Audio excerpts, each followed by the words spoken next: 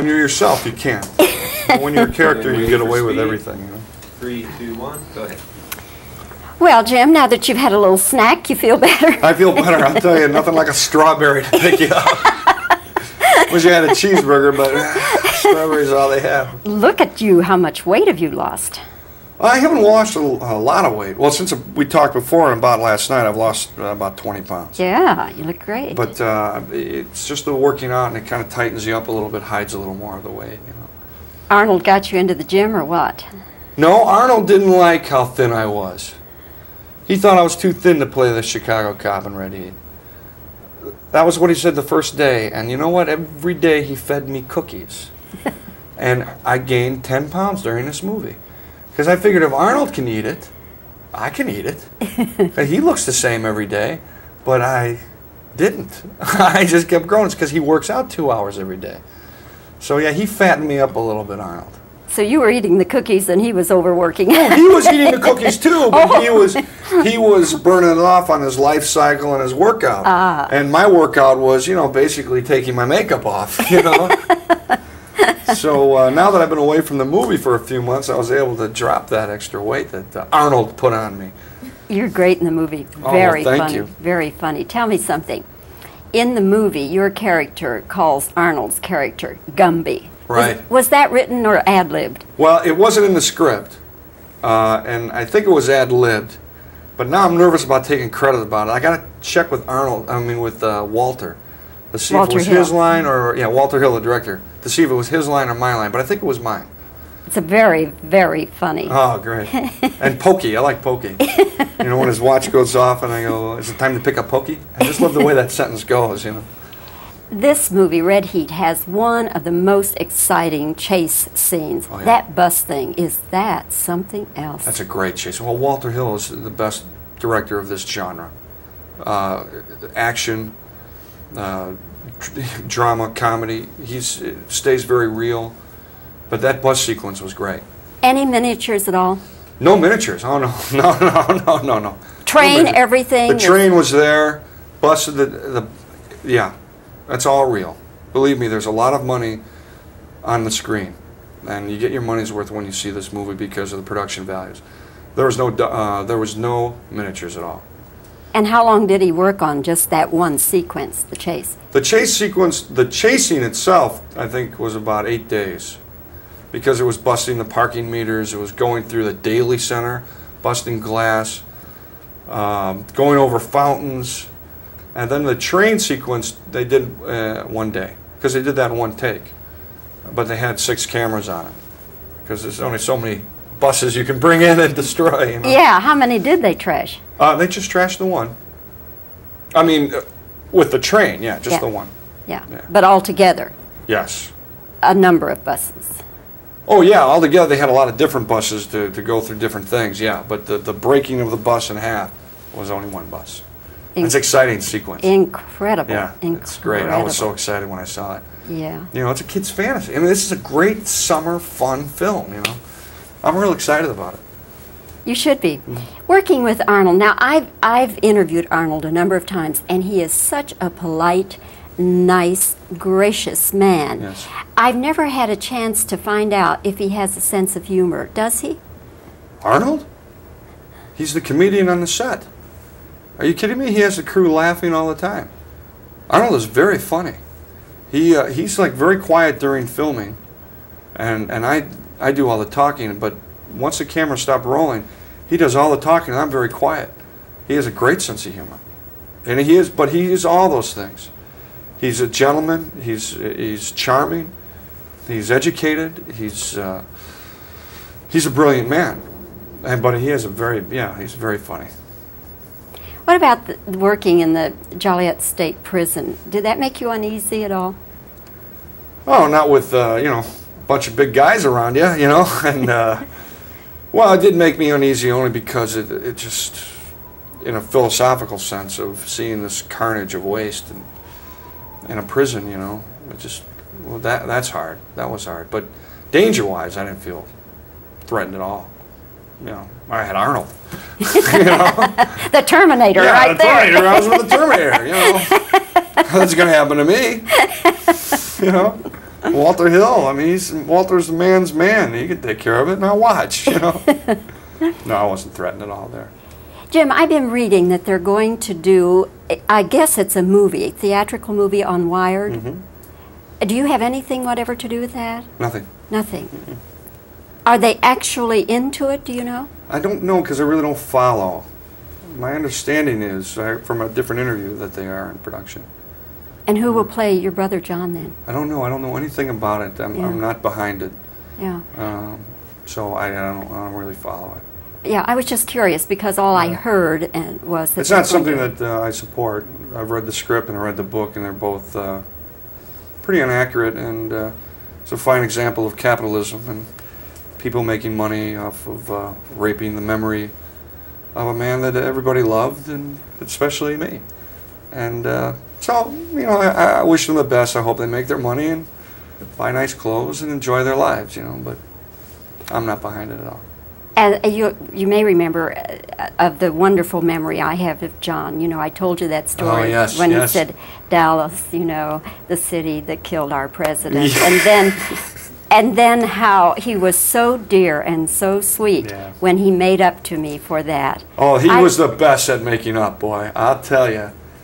He was the he was a charmer. He was Oh, really. no, he could charm. He could charm you like that. You could be so angry at him, and he could charm you like that. I mean, I got in, finally I got in my fist fight with my older brother, you know, and I was ready, you know, and he goes, "Yeah, this reminds me of East of Eden," you know. And I went, "Oh, geez," you know, and then bam, oh, gee, he caught me, you know. Uh, he was a charmer, you know. well, Jim, good luck with Red Heat as if you needed it because Oh. you guys are going to clean up with this I thing. hope so. Thank you very much, Dallas. Good I to see appreciate- you, Good my to dear. see you again, dear. That's nice. Stop it. When you're yourself, you can't. But when you're a character, you get away with everything. You know? Three, two, one, go ahead. Well, Jim, now that you've had a little snack, you feel better? I feel better. I'll tell you, nothing like a strawberry to pick you up. Wish you had a cheeseburger, but uh, strawberries all they have. Look at you, how much weight have you lost? I haven't lost a, a lot of weight. Well, since we talked before and about last night, I've lost uh, about 20 pounds. Yeah, you look great. But uh, it's just the working out, and it kind of tightens you up a little bit, hides a little more of the weight. You know. Arnold got you into the gym or what? No, Arnold didn't like how thin I was. He thought I was too thin to play the Chicago cop and Red Heat. That was what he said the first day, and you know what? Every day he fed me cookies. and I gained 10 pounds during this movie. Because I figured if Arnold can eat it, I can eat it. He looks the same every day, but I didn't. I just kept growing. It's because he works out two hours every day. So yeah, he fattened me up a little bit, Arnold. So you were eating the cookies and he was overworking. he was eating the cookies too, but he was he was burning it off on his life cycle and his workout. Ah. And my workout was, you know, basically taking my makeup off, you know.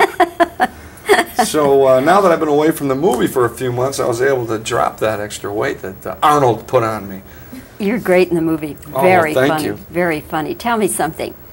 In the movie, your character calls Arnold's character Gumby. Was- Right. Was, that written or ad libbed? Well, it wasn't in the script, uh, and I think it was ad libbed. But now I'm nervous about taking credit about it. I got to check with Arnold. I mean, with uh, Walter, to see Walter if it was Hill. his line or yeah, Walter Hill, the director, to see if it was his line or my line. But I think it was mine. It's a very, very funny. Oh, great! and Pokey, I like Pokey. you know, when his watch goes off, and I go, "Is it time to pick up Pokey?" I just love the way that sentence goes. You know. This movie, Red Heat, has one of the most exciting chase scenes. Oh, yeah. That bus thing, is that something else? That's a great chase. Well, Walter Hill is the best director of this genre. Uh, action, uh, drama, comedy. He's it stays very real. But that bus sequence was great. Any miniatures at all? No miniatures. Oh no, no, no, no, no, no. Train, No everything? The train was there. Bus, the the, yeah, that's all real. Believe me, there's a lot of money on the screen, and you get your money's worth when you see this movie because of the production values. There was no uh, there was no miniatures at all. And how long did he work on just that one sequence, the chase? The chase sequence, the chasing itself, I think, was about eight days, because it was busting the parking meters. It was going through the Daley Center, busting glass, um, going over fountains, and then the train sequence they did uh, one day. because they did that in one take. But they had six cameras on it because there's only so many buses you can bring in and destroy. You know? Yeah, how many did they trash? Uh, they just trashed the one.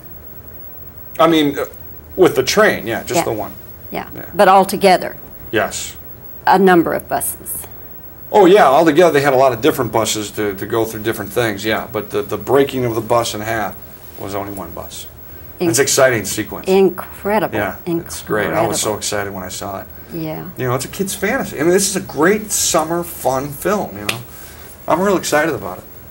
You should be. Mm-hmm. Working with Arnold. Now, I've, I've interviewed Arnold a number of times, and he is such a polite, nice, gracious man. Yes. I've never had a chance to find out if he has a sense of humor. Does he? Arnold? He's the comedian on the set. Are you kidding me? He has the crew laughing all the time. Arnold is very funny. He uh, he's like very quiet during filming, and and I I do all the talking. But once the camera stops rolling, he does all the talking, and I'm very quiet. He has a great sense of humor, and he is. But he is all those things. He's a gentleman. He's he's charming. He's educated. He's uh, he's a brilliant man, and but he has a very yeah he's very funny. What about the, working in the Joliet State Prison? Did that make you uneasy at all? Oh, not with uh, you know bunch of big guys around you, you know, and uh, well, it did make me uneasy only because it it just in a philosophical sense of seeing this carnage of waste and in a prison, you know, it just well that that's hard. That was hard, but danger wise, I didn't feel threatened at all. You know, I had Arnold. you know. The Terminator, Yeah, right the there. Terminator. I was with the Terminator. You know, that's gonna happen to me. You know, Walter Hill. I mean, he's Walter's the man's man. He can take care of it. Now watch. You know. no, I wasn't threatened at all there. Jim, I've been reading that they're going to do, I guess it's a movie, a theatrical movie on Wired. Mm-hmm. Do you have anything whatever to do with that? Nothing. Nothing. Are they actually into it, do you know? I don't know because I really don't follow. My understanding is uh, from a different interview that they are in production. And who will play your brother John then? I don't know. I don't know anything about it. I'm, Yeah. I'm not behind it, Yeah. um, so I, I don't. I don't really follow it. Yeah, I was just curious because all I heard and was that It's not something that uh, I support. I've read the script and I read the book, and they're both uh, pretty inaccurate. And uh, it's a fine example of capitalism and people making money off of uh, raping the memory of a man that everybody loved, and especially me. And uh, so, you know, I, I wish them the best. I hope they make their money and buy nice clothes and enjoy their lives. You know, but I'm not behind it at all.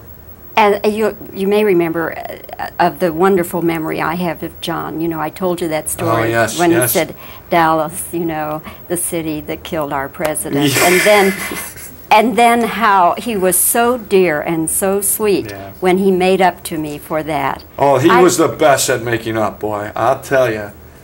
He was the he was a charmer. He was, No, really. no, he could charm. He could charm me like that. You could be so angry at him, and he could charm me like that. I mean, I got in, finally I got in my fist fight with my older brother, you know, and I was ready, you know. And he goes, "Yeah, this reminds me of East of Eden," you know. And I went, "Oh, geez," you know. and then bam, oh, gee, he caught me, you know. uh, he was a charmer, you know.